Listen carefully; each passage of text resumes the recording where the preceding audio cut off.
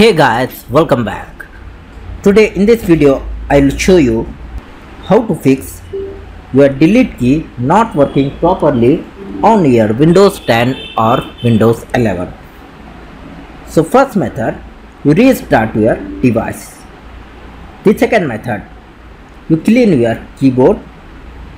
And the third method, if you are using wireless keyboard, then you remove the batteries and put the again batteries.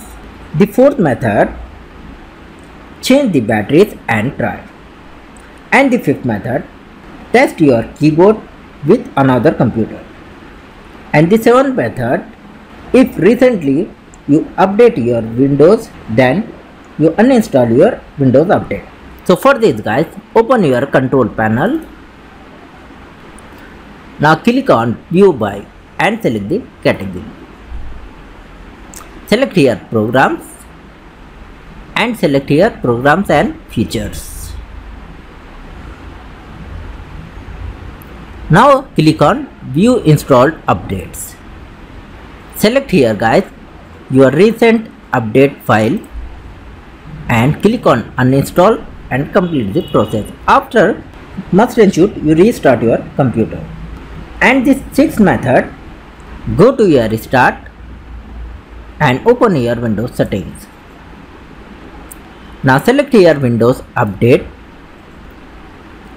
and click on you will see here check for updates or download now. You click here and update your Windows.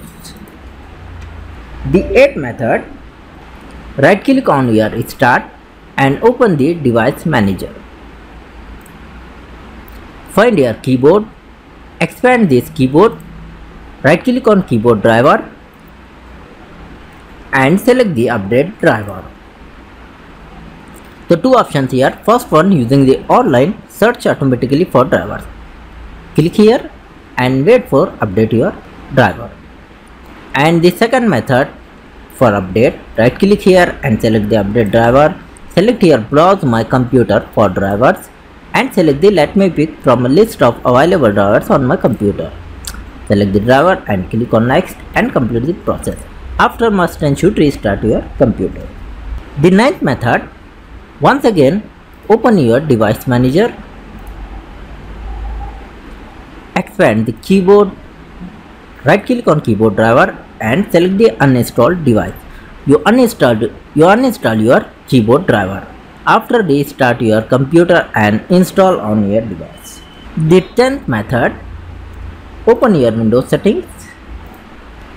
Go to accessibility. Find your keyboard. Select this keyboard option.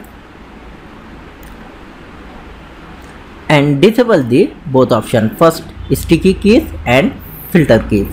You disable the both options. After restart your computer.